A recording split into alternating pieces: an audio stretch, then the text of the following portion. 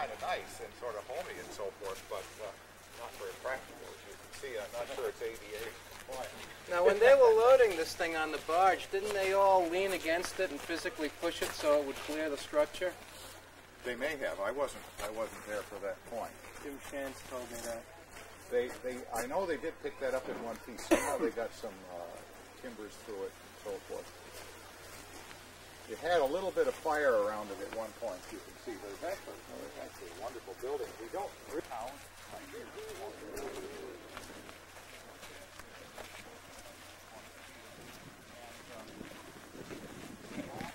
Uh, he was here when Ted Santarelli and the original people started the museum, and he came over and uh, pointed out where rails were and uh, that's some funny things. Still, because the property didn't go much farther. Well, anyway, the barn burned, and the house burned, and uh, then they left. We, we went over and hauled some stuff out of the fire. It was about this time of day. Uh. So we actually had some Atlantic Shore Line rail here? a little bit. When we? There was a frog, a lot of spikes, things like that. All Oh, wow. over. I didn't know that. See, uh, well, we'll say that when we get outside.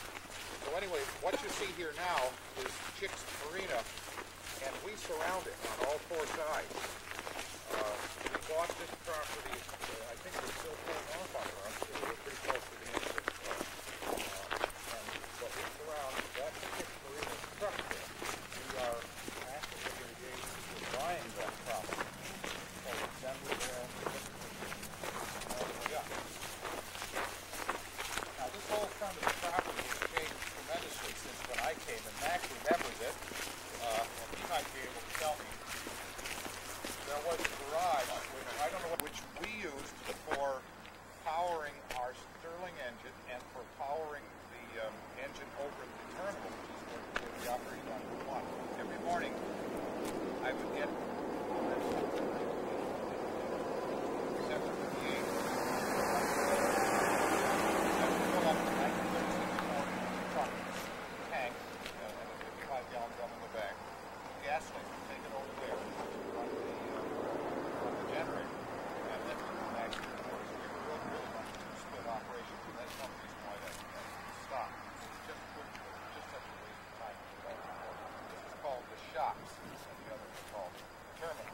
So anyway, uh, there was a garage that faced out to the road with two two folding doors in it, and a big sign, something about the world's largest trolley museum up on the cover about. Uh, That's after we took it over. Yeah, yeah, right. I don't think it was there beforehand.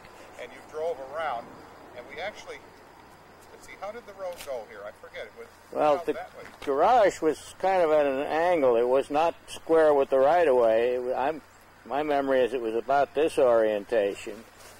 And uh, there was space in front of it, and you came around in front of it and then on up the, uh, the right of way.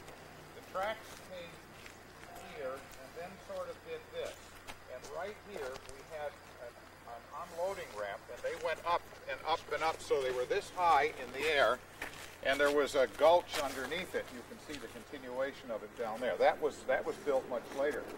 And this was our pit and unloading ramp. So the truck, yeah, the road did go that way because you could back the highway monster in here and then run the streetcar off and right up there. And it was our pit. But the cars were way up here at this height. We had very uh, rotten wood here. We ran the pit jacks around on with an arm. I remember taking 838 armature out up here.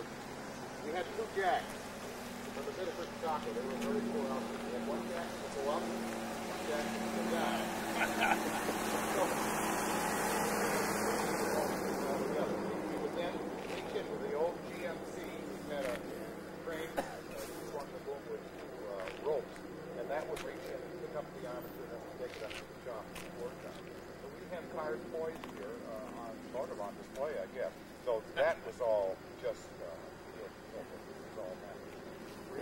Just over here was the lean-to, and it was sort of grown up to brush on both sides. It was the nearest thing to a station, pretty much at the end of the track.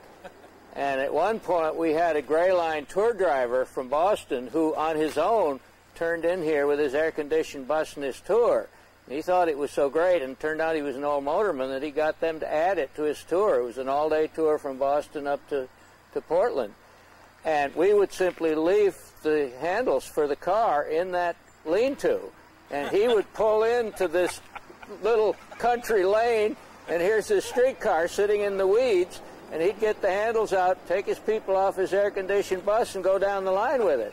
Well, more than that, he actually started the gasoline power station to tell people to wait here. He go up to the door and up. Well, some of the time we had it running and on low power if there was somebody here, and at least when I was here, most of the time there was. So we knew about what time he was due, and we'd have the thing on idle. And then, course, the system then, there was a rectifier that put enough power on the line for lights and air compressor of one car. And we'd notch open, and that would blow the circuit breaker on that thing, and then you'd hear the Stirling end, and then your lights would come on again, and you'd have power for the for the motors, for the traction motors. And if you didn't draw power for about a minute or a minute and a half, then it would drop down to idle, and you had to go through this again. You'd notch open once, the lights would go out, and then and away you'd The go. door. You still telling stories? You Pat? betcha. Yeah, good. Smile, you're on candid camera. we are. Good morning.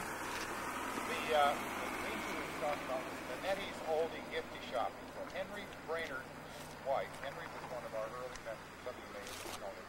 His wife was Nanette Carbox Brainerd, and she her idea was to build a, a, a gift shop, a store. So it wasn't about a uh, eight by ten chicken. It was actually the chicken coop from next door at the uh, Butler House, which I'll talk about later on. And it had a platform that folded down here, folded up like that. And that was our start of the present store that we have. So we have evolved an awful lot. And always known as the Gifty Shop with an E on the end, and everybody pronounced the E. Both, both of them also. Now, something else you're probably aware of. This is the Atlantic Shore Line right away. And when you come up the uh, log cabin road, you can see the signal, uh, because the road's just a little bit higher, you can see the first signal up there flashing, uh, or whatever it is at the time of day. And as you drive down Log Cabin Road, if you're very observant on the left, particularly up this way, you can see a slight embankment. Uh, the road, I guess, gradually encroached on it as it got farther down, but uh, up here uh, it was quite prominent. And then this was called Miller's Siding. And I think it was just a one-ended uh, siding for uh, they pull uh, the cars in here, which were then loaded up primarily with lumber. Lumber that was totally cut the wood. And this this area, our right of way, uh, not the right of way, but the woods was owned by the Diamond Match Company, and before that Hercules Powder Company. The powder was for boxes to put dynamite in. Diamond Match, they, we've got four. They didn't have such big pieces, so they they matched each other. So.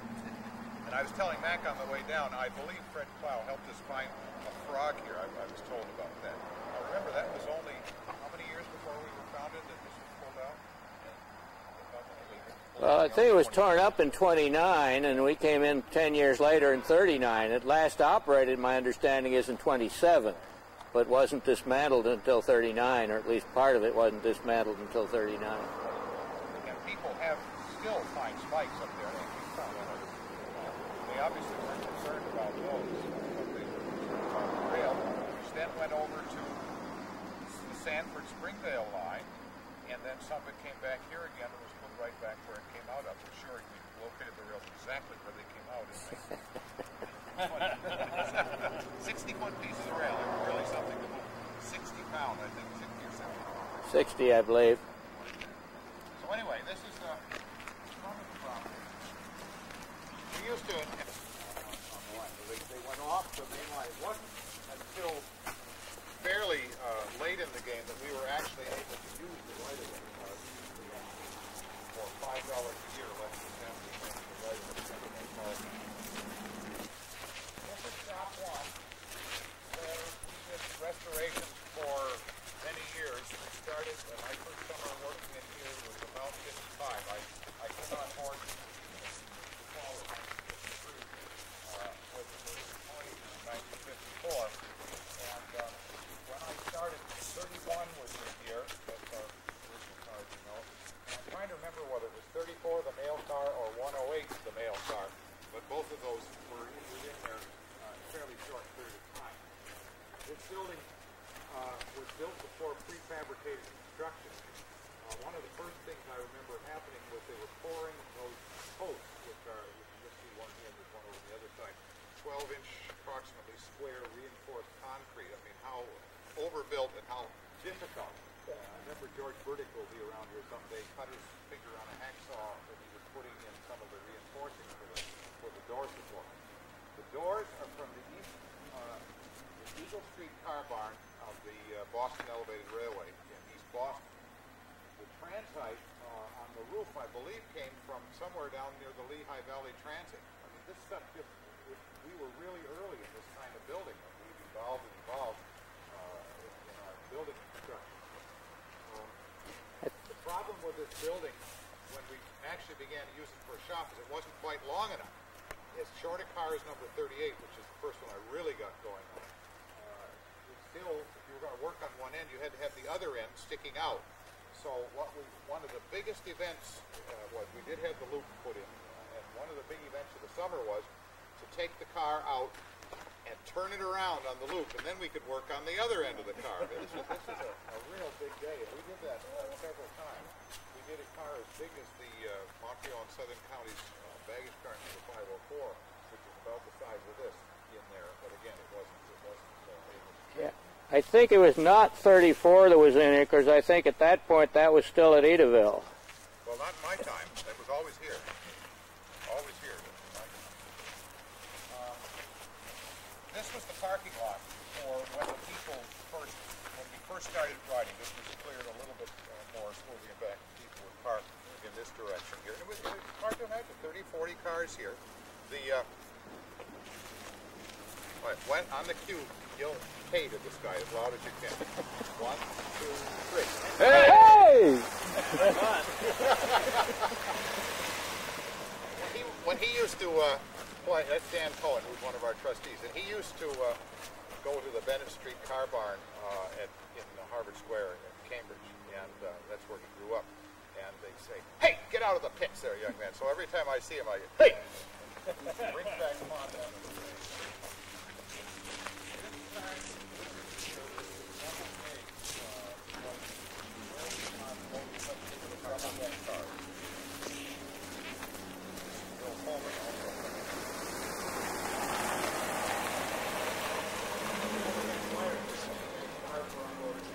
This rail is very poorly constructed and only once it was flipped over. I think it was- Does anybody know what car we're looking at? This is one of the big numbers. This is not reconstruction. There's a tab truck. This is from the Newport Travel. uh, long after. Yeah, really open. And it's becoming even less and less of a pattern than it was when we got it. Uh, What we'll do to it, I don't know, but it is available. and Well, Donald, wasn't the thinking behind it that it was such a relic that if we restored it, we'd do it generically, so we'd have an open car to use for people, and we'd put the Connecticut cars on ice, We so to speak.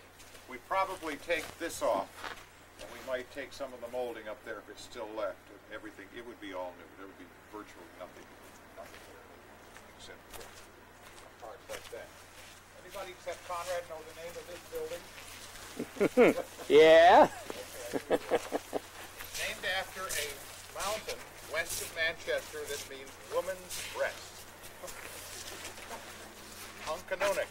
This was the power station for the Uncanoonuc um, funicular, those funiculars. Sorry, the cable railway, uh, west, uh, uh, Goffstown, New Hampshire. We, uh, my first, one of my first jobs was we were raising this thing up, uh, putting the floor in it here. This is the first of the parts warehouse. Now Danny's empire has grown a great deal. Dan Cohen, the fellow, came in as our parts man. And, uh, this is where I say the good stuff is, the old stuff, stuff that fits cars like that. So we, we built that. Right next to it was the chicken coop, which came from, if you were to look you'd see what we now call the Howe House. Before that, it was the Butler House. Before that, it was the Root House. Now, when I first came on board, my first summer, I got to know the Root families. Charles Bertrand Root had moved up here from Waterbury, Connecticut. And uh, he had his three young daughters, one of whom I was engaged to, because when you're around here all by yourself in the summer and nobody else around, you get kind of close to people like that. And uh, I still see them, uh, the, the young the daughters, uh, they're, they're still around living in the community. But anyway, that house, I remember they're stripping all the wood shingles off, and there were big piles of them right here. And that's how we kept warm in the bunkhouse. Uh, you can imagine wood pine shingles, how much fire you get out of them and how long they would last. It was a lot of throwing them in the fire all, all night long and resting about three in the morning froze. But anyway, that, that building uh, was made into their house, which they lived in. It was restored somewhat. And then Pat Butler, one of our uh, early members who was active at the time that I first came around, uh, one of the group of Harvard people, uh, Ben Minnick is one who still, I think, is here today, and Pat and uh, Bill Lamb. Oh, okay, that's right. He goes back to WHRB. There are four or five Harvard people that came in here, and so Pat uh, had he was not uh, involved with anybody at the time. Bought that house just just to have it, and along with it came all the land to the west of the uh, fence here, is uh, including where the three big car barns are and the restaurant and so forth, what we then became called Butler Grove. And uh, donated the land to the north. This part here, he sold us at not too friendly a price, but we did end up getting a, a house, which then Dick and Eleanor Howe uh, have retired to uh, and made into an absolutely gorgeous house. It's just absolutely wonderful.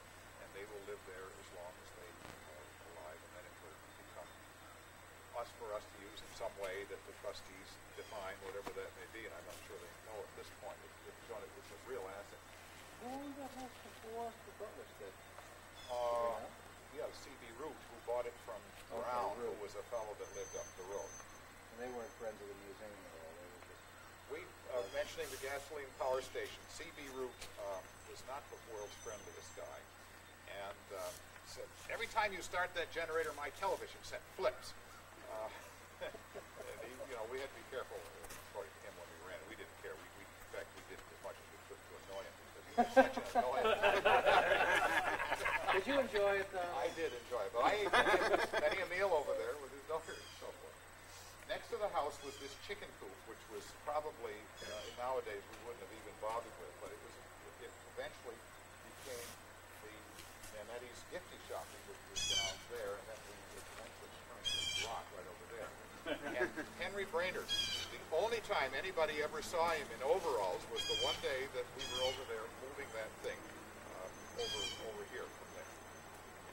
The other thing, uh, in our dream of building buildings, prefab buildings, again, as I said, were not being built. Uh, they weren't available. There was a barn, a standard barn, 40 or 45 foot square barn, uh, out in the front of that property. We jacked that building up, took the floor out, and built, uh, put see, 12 by 12 by 45 or 50 foot. Those right up the road. The, the, the rules were not there now. We just put them on either side of the GMC sticking out 20 feet in either direction put them under this thing, bought a lot of wood rollers and enough planks, and, and pulled that building all the way up, and then turned it 90 degrees and across the road right about where that cone is, maybe a little bit farther, and then turned it another uh, few degrees so that it's going to face the same direction as South Boston, which is the building you can see there. And uh, at that last turn, it didn't quite make it because there was no foundation. All there were all these posts sitting on these big beams, and the thing started to collapse. Then Hurricane Caroline came along, and the building collapsed. And all that effort for absolutely nothing. So that's why South Boston is located there. That was the site of, of that, that building. Now, uh, looking on here, Enjoying shop one? huh? You have your shop one, you gonna take? I yeah. Uh, actually, you may have a better one than I do. I. Well, I gave you uh, a new one yesterday. What? Oh, you did. You put it on I gave, here? what's his name, and I need my oil back from him. Okay, you have to speak to him. Oh no, it's Bob. It's probably Yeah. in the shop. Bob, yeah. Shop one, when we first started, was only that side, and then we, in our small thinking at the time, we thought, boy, we need an addition. We were going to really put this massive addition on here. That would be the machine shop for woodworking, and then that other thing up there was going to be the prop for a, uh, a full-size addition here. And you can see we've moved a little bit beyond that. Uh, but an awful lot happened. We have pictures of Danny Cohen working on the city of Manchester in there. He did some wonderful stuff when he was uh, So at least the ceiling panels. very thin and emaciated looking with black Because I am now. what condition it is now, but it was an open horse car. Uh, and then right behind you is a sleigh, a wintertime omnibus. And uh, that's this area you're standing in was where we had the machine shop. We had the um, wood saw, we had a band saw, we had uh, a table saw, uh, drill press, and that's about all. And we actually restored uh, the city of Manchester. We started uh, number 2052 there, 504, uh, what else did we do? 34, 108. We were in here probably about 10 years every summer. Now, our shop program at that time of year was strictly summer. I was a school teacher, so this was my summer job. And then uh, Labor Day, it all shut down. So we were basically a 10-week program. This place in the wintertime was somewhat vacant. Uh, it, it really has now become a full-time operation, and this is one of the reasons we came to the crisis we did, that we were considering shutting the shop down in November 20th because of the expense of keeping going all year round. Back when it was a simple operation with high school kids operating in the summer, it wasn't so expensive, but now that it's all all uh, year round has become much more so. These windows that you see came out of the Quonset house, that window that's right behind Phil there, which was the uh, start of the shop down in Lynnfield, Massachusetts. I'd forgotten we'd saved these. Um, was the uh, the building that collapsed in 1967, I think. Okay, why don't we Biddeford to eat, and. Uh, it was a big thing. We had cars that didn't have very good heaters. We always used to talk about the after dinner chill. And we went into Roland's Diner, which is no longer there, in Biddeford, and had our breakfast and noontime meal. I forget where we went for supper. I guess the log cabin diner was right up where the antique place was. We would go there at night. We'd go into a diner and we'd say, Well, how long are you going to last? Because they, they kept changing managements and so forth. And Ben Minnick would pound the table because there wasn't enough water. They never gave him enough water there. Something tells me that second cup of coffee was kind of long in coming. Well, at Roland's, they had a Ben glass. It was one of these, you know, glasses that holds 32 ounces or something, and kept it behind the counter. And when Ben would walk in, they'd fill it with water and put it in front of him, and then put a pitcher next to it. Now, where was the Birney in relation Birney to was all right, right Right there. In fact, when we built this, we had to uh, move the Birney. The crane came in here, and I remember he nearly tipped over picking it up, and we set it over on the track. They they used to feed the trolley wire. There was a short stretch of trolley wire, and they that switch was to turn 110 volts on to the trolley wire, and then they had low voltage bulbs in the car, so they could get some lights and really feel like they, they had something here. This was the original uh, layout was right here. Uh, that track, uh, well, there was a track coming off this way and went closer to the bunkhouse and went right under the end of the South Shore car, and there's a couple of cars still remaining on, on it on the other on the other end. When you drove in, the other entrance wasn't there. Right here was where the greeter stood. Danny Cohen being one of them, Mike Simons being one of them, and uh, George Cady, who's an old, older fellow. And they come in and, and George would say, "Don't step, stand, and walk on the rails. Don't open any streetcar doors." The guy was right here. I heard this thing. It was always, "Don't, don't, don't, don't." He was, he was not exactly a friendly guy. I remember we got a donation of paint remover, and there was a drum of it sitting right there in the black on the summer day. And you, I knew it was a volatile substance. And all of a sudden, we're noticing this little stream of paint remover blowing up and over. And before we noticed it, several cars had drawn by. Now, we didn't say a word. so we were a little bit primitive in those days. the paint car, which is now up back in the shop, we moved that the same day. It's a real funny one. He's probably under the city, uh, under the uh, 60s. That's why he got it. for the truck. Now, the entrance was in this way and out on the Burma Road up there. So that there was a, this was a little bit, seemed a little bit narrower. It was chopped out by the Atlantic Shore Line. Uh, many times in the 70s, we had uh, picnics up there. Fred Perry's wife would put them on. We'd have uh, picnics and, and barbecues and so forth. Kind of a neat thing. That all the time. So before the bunkhouse was built, when I first came here, it was being put together that would have been the summer of 54, 53, 54. So people stayed in streetcars or uh, in the Birney car, which had room for about four or five. It had a little hot plate in it. It had uh, no running water. Again, we used to have to carry it five gallon buckets. of water. We had running water as fast as you could run. and uh, the one time I decided I was going to be the cook because I thought we wasted an awful lot of time going into Biddeford. So these were the old electric hot plates, very slow, and, we, and there wasn't room for a setting, too many settings. We maybe had eight or ten visitors here, I remember the complaints about people at the second shift for their spaghetti or whatever it was I was making because it was hours later to wait. So this was really a wonderful thing. Charlie Case, our member from, her name is Boatyard. But he loved streetcars. So that building was built out of stuff when the Portsmouth dump. And uh, it was only half as long as it was, but it was a tremendous improvement. One room.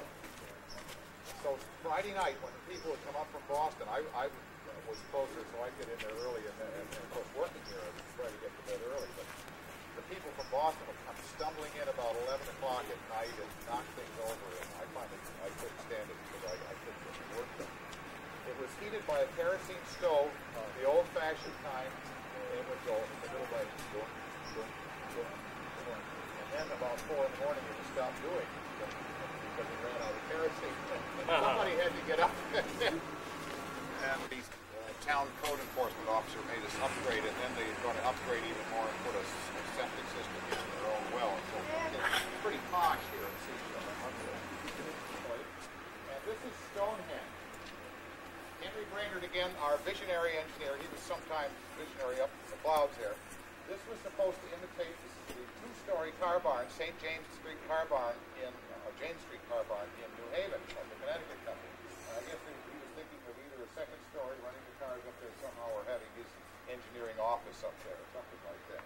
And uh, they got, I think, three of these done. And then we were going to put a pit here. And I remember my first summer here working with Ralph Brown. Who, uh, well, Ben Minnick got one of his classmates who supervised myself and Roger Jenkins, who were the two summer kiddies working at 35 cents an hour. And uh, we were going and we dug the pit here. So this is going to be the shop in conjunction with that. And uh, the uh, foundation for the other uh, pole was there. Uh, the, the other, the other uh, column. And uh, we eventually we decided we ran into a huge rock, and we decided that was not the best place to put the, uh, the pit. So we pulled over one of so one of the concrete posts is in there. This is as far as it ever got. I mean, they were going to pour them across the top. Can you imagine doing things the hardest possible way? This edition of the uh, bunkhouse was built by Irving Walker, who uh, since has died, and he uh, did that uh, on his vacations here. Did a very, very nice job. The building, of course, needs a lot of work. It's on some schools. It's on what, four rooms, I believe, and hold about three. Some rules that have to I'm not even sure the first bunkhouse came clear out here. I think it came just past that window. now uh, available or scrapped or whatever. It's uh, a vib- electric vibrating type, extremely high maintenance. We use it a lot, but it does not work easy. Two uh, grinding, uh, Goldschmidt grinders for grinding thermite welds in the track, Goldschmidt Thermite Company. And we actually used these one time. This one came to us in that condition. Somebody picked it up the wrong way at the MBTA. But this one I can remember using and actually running back and forth. For a number of years, our corporate secretary, Cecilia Platt, was here. She did uh, much, much, much better and this is available. Uh, was we almost got rid of it, and then it didn't happen. Um, then this is the here's the power station, the old power station. It started out originally uh, with a thing called the pagoda. And the pagoda contained a one-lung gas engine, not gasoline, but gas engine George Burdick had acquired somewhere with the great big flywheel on the top. And they were going to burn used crankcase oil in it to power our stuff. Fortunately, it didn't happen. And we traded that for a the Massey Harris tractor, which was mostly transmission and wheels and an engine in the front. And we used to use that for towing things around. It was had iron wheels with big cleats on it, so it shook the dickens out of you. Most of us didn't call it Massey Harris; we called it Nasty Harris. You're right. And it didn't have a very tight cooling system, so in the wintertime, in in wintertime, we didn't put antifreeze in it. We just run it for a few minutes and shut it off to cool down again. Uh, we got from New York Central Railroad, we had Henry Rader, it was in Cambridge right near where he worked at MIT, he saw this uh, gas car belonging to New York Central, and uh, in it was a Sterling Viking 2 300 horsepower gasoline e- engine for with a diesel or with an electric 600 volt generator on the back side. And uh, it sat right there on that pad. And the summer of the fall of 1953, when I first came up, they were working on it. And I remember my first job was they had the generator suspended uh, from the one of the beams inside there, and I was painting Rust-Oleum gray on the on the generator. Uh, in December, they finally got it ticking over, and to make it run, we had there were big radiators on the top and a big tank, and we had to go and chop ice uh, in the creek, which is oh, way over that way, about 500 feet, and carry it over and pour it into the top. And of course, you had to have the generator, generator running fairly soon, or the water would freeze. And they finally got the thing running, and uh, they had an expansion tank on the top, uh, which they thought would take care of the, the engine. Well, the first cooling of the engine and the radiators. The first radiators looked nice, but they weren't very efficient. And so the engine would overheat in almost no time, and then this plume of steam going up 100 feet, blowing out through the expansion tank. So then they got some other radiators and put them on. There were two big fans up there, and uh, that began to cool it off. In the night time, uh, again, because they, you couldn't afford to use antifreeze in that, the system wasn't that tight. They had a tank, which you can see there, and when the engine was running slowly, the water would drain out of the tank, uh, the radiators on the roof, and fill that tank. And then when it would run fast, it would push it up into the radiators to cool it. Well, again, before the bunkhouse was expanded, uh, we would sleep in there in the power station, and the engine, the heat of the engine would keep us warm until about three o'clock in the morning, anyway.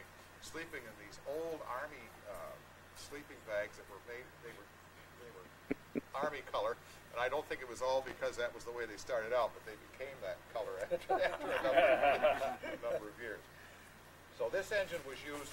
Uh, we had a gasoline tank up on the roof. We used. Uh, I think we were able to get it pumped in there, but it, it, it never seemed to run well. It uh, was extremely uh, cost, uh, very expensive to run. Uh, it had eight-inch cylinders and four valves in each one, and uh, it was just a problem. I we would start it up and it would fart and bang. Could hear it from miles and miles and miles away. And it had four magnetos, as I remember it, and four spark plugs with Four four separate magnetos and four plugs in each in each cylinder. It, uh, it was just a pain in the neck. So it finally swallowed a valve and stopped. Meanwhile, we had stopped running over at US Route 1, and in one of the trailers, which is now up the shop, right there, we had the Winton engine, which was uh, from a uh, Boston and Maine gas electric car. And so we ran that until it swallowed a valve and, and died right there. And fortunately, within a few weeks, the other power station was running. So we went through two gas, just awful, awful gasoline. It just took so much time. But this was a, a, an interesting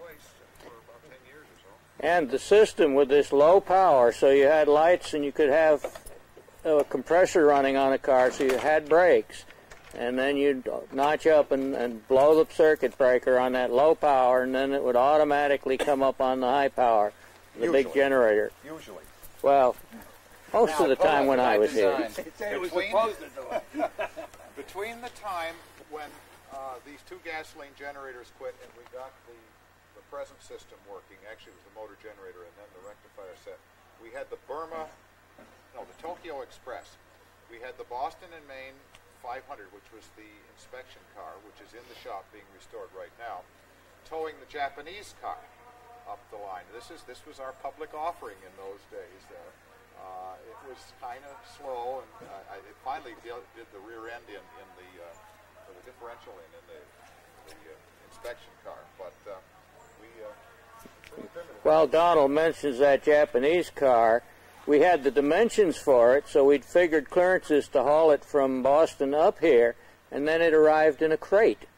And we had to take the bottom of the crate out and set it down to where we got approximately the vertical clearance that we were expecting.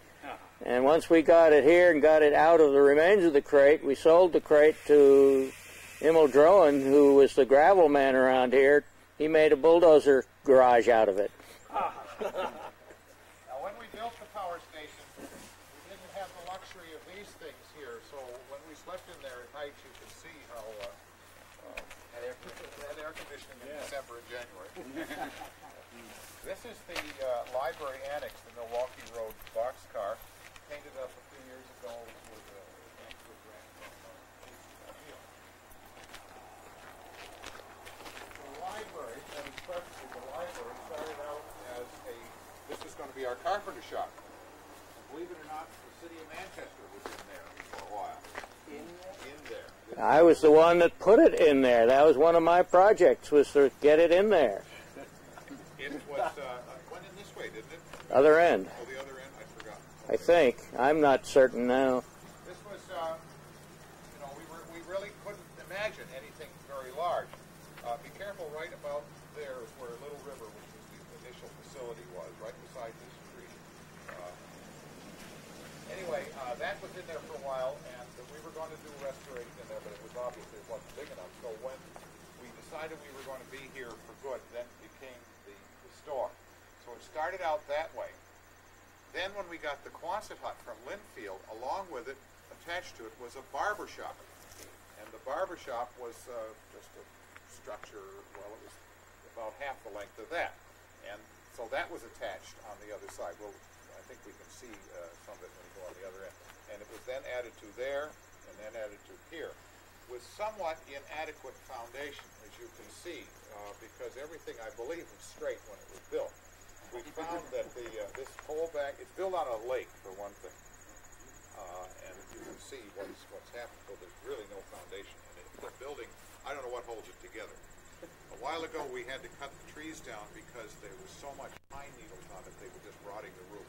And uh, I don't remember it was being as bad as that when we hit this. So you're saying that uh, the annex here was a barber shop at one point? From here to the middle, you can see the break. Yeah. in the.